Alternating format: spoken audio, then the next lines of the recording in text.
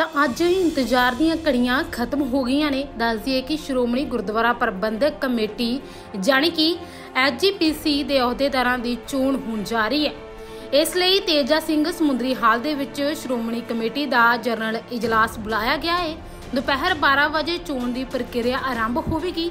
ਇਸ ਚੋਣ ਦੇ ਵਿੱਚ ਸ਼੍ਰੋਮਣੀ ਅਕਾਲੀ ਦਲ ਦੇ ਵੱਲੋਂ ਹਰਜਿੰਦਰ ਸਿੰਘ ਧਾਮੀ ਅਤੇ ਸ਼੍ਰੋਮਣੀ ਅਕਾਲੀ ਦਲ ਸੁਧਾਰ ਲਹਿਰ ਦੇ ਵੱਲੋਂ ਬੀਬੀ ਜਗੀਰ ਕੌਰ ਵਿਚਾਲੇ ਮੁਕਾਬਲਾ ਹੋਵੇਗਾ।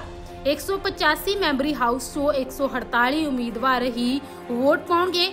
31 ਤੋਂ ਵੱਧ ਮੈਂਬਰਾਂ ਦਾ ਪਿਛਲੇ 13 ਸਾਲਾਂ ਦੌਰਾਨ ਦੇਹਾਂਤ ਹੋ ਚੁੱਕਾ ਹੈ। ਬਾਕੀ 6 ਮੈਂਬਰਾਂ ਨੇ ਅਸਤੀਫਾ ਦੇ ਦਿੱਤਾ ਹੈ। ਚੋਣ ਇਜਲਾਸ ਦੇ ਵਿੱਚ ਪੰਜ ਤਖਤਾਂ ਦੇ ਸਿੰਘ ਸਹਿਬਾਨ ਵੀ ਸ਼ਾਮਿਲ ਹੋਣਗੇ, ਪਰ ਉਹਨਾਂ ਨੂੰ ਵੋਟ ਪਾਉਣ ਦਾ ਅਧਿਕਾਰ ਨਹੀਂ ਹੁੰਦਾ।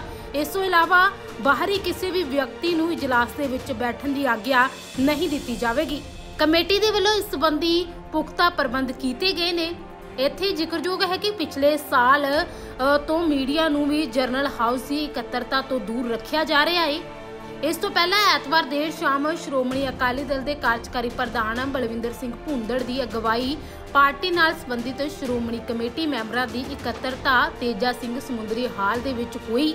ਇਸ ਇਕੱਤਰਤਾ 'ਚ 100 ਦੇ ਕਰੀਬ ਮੈਂਬਰਾਂ ਨੇ ਹਿੱਸਾ ਲਿਆ।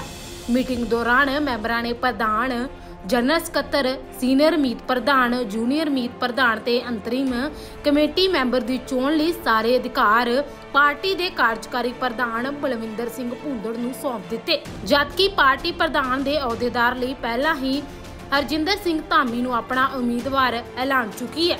ਉਧਰ ਧਾਮੀ ਨੇ ਸ਼੍ਰੋਮਣੀ ਅਕਾਲੀ ਦਲ ਦੇ ਪ੍ਰਧਾਨ ਤੇ ਅਹੁਦੇਦਾਰਾਂ ਦਾ ਸਮਰਥਨ ਦੇਣ ਲਈ ਧੰਨਵਾਦ ਕੀਤਾ ਹੈ। ਇਸੇ ਦੌਰਾਨ ਹੀ ਵਿਰੋਧੀ ਧਿਰ ਨੂੰ ਪੰਥ ਦੇ ਹਿੱਤਾਂ ਲਈ ਇਕੱਠੇ ਹੋ ਕੇ ਚੱਲਣ ਦੀ ਅਪੀਲ ਕੀਤੀ ਹੈ। ਦੱਸ ਦਈਏ ਕਿ 110 ਤੋਂ ਵੱਧ ਮੈਂਬਰ ਧਾਮੀ ਨੂੰ ਵੋਟ ਪਾਉਣਗੇ। ਇਹ ਦਲਜੀਤ ਸਿੰਘ ਚੀਮਾ ਦੇ ਵੱਲੋਂ ਦਾਅਵਾ ਕੀਤਾ ਗਿਆ ਹੈ।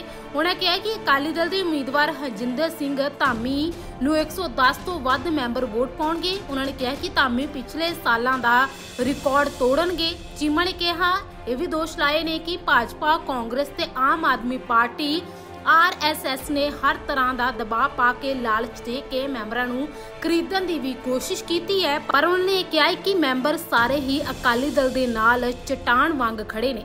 ਦਿੱਲੀ ਕਮੇਟੀ ਤੇ ਕਬਜ਼ਾ ਕਰਨ ਤੇ ਹਰਿਆਣਾ ਦੀ ਵੱਖਰੀ ਕਮੇਟੀ ਬਣਾ ਕੇ ਸ਼੍ਰੋਮਣੀ ਅ, ਕਮੇਟੀ ਨੂੰ ਤੋੜਨ ਦੀ ਕੋਸ਼ਿਸ਼ ਵੀ ਕੀਤੀ ਜਾ ਰਹੀ ਹੈ ਹੁਣ ਦੇਖਣਾ ਹੋਵੇਗਾ ਕਿ ਬੀਬੀ ਜਗੀਰ ਕੌਰ ਜਾਂ ਫਿਰ ਹਰਜਿੰਦਰ ਸਿੰਘ ਧਾਮੀ ਐਜੀਪੀਸੀ ਦੇ ਪ੍ਰਧਾਨ ਹੋਣਗੇ ਇਹ ਅ, ਦੱਸਿਆ ਜਾ ਰਿਹਾ ਹੈ ਕਿ ਥੋੜੇ ਸਮੇਂ ਤੱਕ ਇਸ ਦੀ ਚੋਣ ਜਿਹੜੀ ਹੈ ਹੋਣ ਜਾ ਰਹੀ ਹੈ ਉਸ ਤੋਂ ਬਾਅਦ ਸਪਸ਼ਟ ਹੋ ਜਾਵੇਗਾ ਕਿ ਅਗਲਾ ਪ੍ਰਧਾਨ ਐਜੀਪੀਸੀ ਦਾ ਕੌਣ ਹੋਣ ਵਾਲਾ ਹੈ ਤੁਸੀਂ ਕਿਸ ਨੂੰ ਪ੍ਰਧਾਨ ਦੇਖਣਾ ਚਾਹੁੰਦੇ ਹੋ ਸਾਨੂੰ ਕਮੈਂਟ ਦੇ ਜ਼ਰੀਏ ਆਪਣੀ رائے ਸਾਂਝੀ ਕਰ ਸਕਦੇ ਹੋ